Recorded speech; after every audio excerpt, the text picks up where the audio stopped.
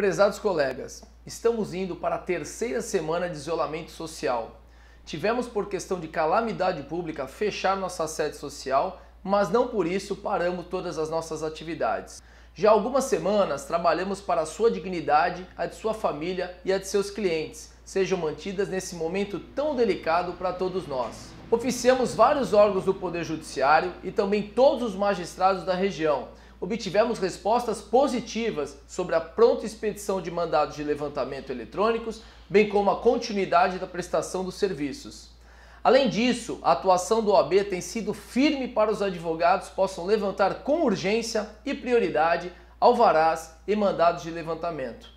Também solicitamos a continuidade do pagamento de precatórios, valores de caráter alimentar para os cidadãos, que aguardam esses pagamentos por longos anos, e para o advogado cujo trabalho também envolve longos períodos.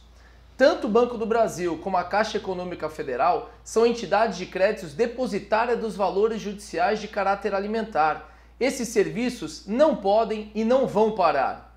Criamos uma comissão especial para tratar de assuntos pertinentes à crise do coronavírus e nossas prerrogativas profissionais Qualquer problema, mande para a gente no e-mail diretoria.oabsantos.org.br ou entre em contato imediatamente com qualquer um de nossos diretores nas nossas redes sociais.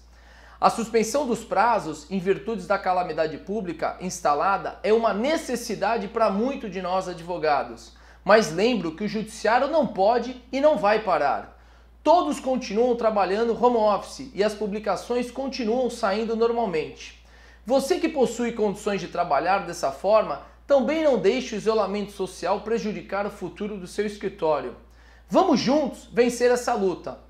O AB também decidiu prorrogar por cinco meses, sem juros e multas, o vencimento das parcelas das anuidades de março, abril e maio de 2020.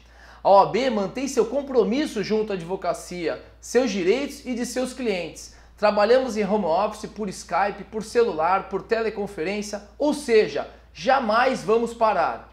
Estamos com vocês, colegas de todas as gerações. A sociedade precisa e depende de nós ao seu lado. Lembro que a atividade da advocacia é essencial à administração da justiça e toda a sociedade. Vamos juntos vencer mais esta batalha. Muito obrigado. Thank you.